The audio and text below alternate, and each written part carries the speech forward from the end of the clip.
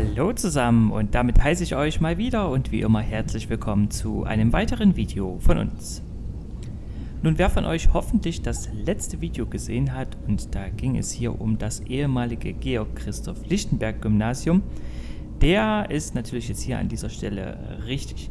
Wer dieses Video verpasst haben sollte, sollte sich dieses zuerst mal anschauen und dann gleich wieder auf dieses Video hier zurückkommen. Für alle anderen, die das Video gesehen haben sollten, ich hatte ganz vergessen, dass es ja eigentlich auch noch einen zweiten Teil geben sollte, denn in dem ersten Teil habe ich von den beiden Gebäuden nur das erste für euch videotechnisch aufgearbeitet.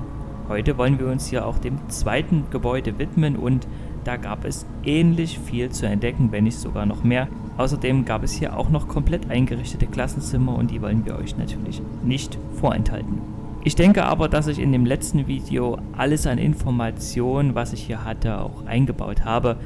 Also wenn euch das wirklich interessiert und wenn ihr da mehr Informationen wollt, dann geht nochmal zurück auf das erste Video. Da erkläre ich genau, wann das Ganze gebaut wurde, unter welchem Namen und bis wann auch der Schulbetrieb stattfand.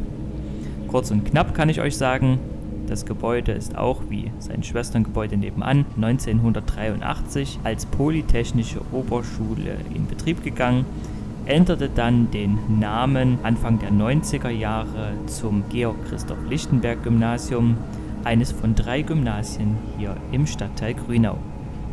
Ende der 90er Jahre sanken stark die Einwohnerzahlen hier in Grünau bis auf weniger als die Hälfte von 1989 noch 85.000 Einwohnern auf doch zwischendurch weit unter 50.000 und so entschloss sich die Stadt Leipzig hier die eine oder andere Schule und so halt auch eben das Georg Christoph Lichtenberg Gymnasium zu schließen, in Anführungszeichen, und man legte es mit dem im Nordwesten befindlichen Max Klinger Gymnasium zusammen. Und so wurde halt eben hier dieses Schulgebäude mit Ende des Schuljahres 2008 dann auch geschlossen und der Schulbetrieb fand dann eben im Max Klinger Gymnasium statt.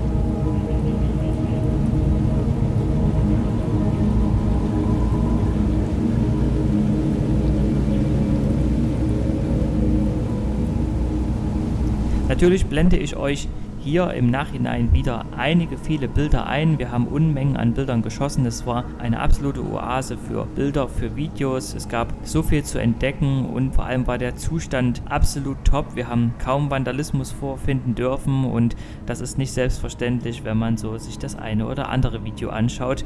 In Klammern sage ich da nur Friedrich-Ratze-Gymnasium was ja nicht allzu weit weg stand von diesem hier. Und wer dieses Video verpasst haben sollte, den blende ich es natürlich hier oben gerne nochmal rechts ein. Ich verabschiede mich jetzt wieder, denn es ist, denke ich, auch alles soweit gesagt. Ich hoffe, euch hat das Video gefallen und wenn ihr Bock habt auf verlassene Orte, dann abonniert gerne unseren Kanal und besucht uns auch gerne mal auf Facebook. Hier findet ihr viele Beiträge und auch Aktuelles rund um verlassene Orte hier im Osten Deutschlands. Ich wünsche euch heute noch einen schönen Tag, macht's gut, bis bald und ciao.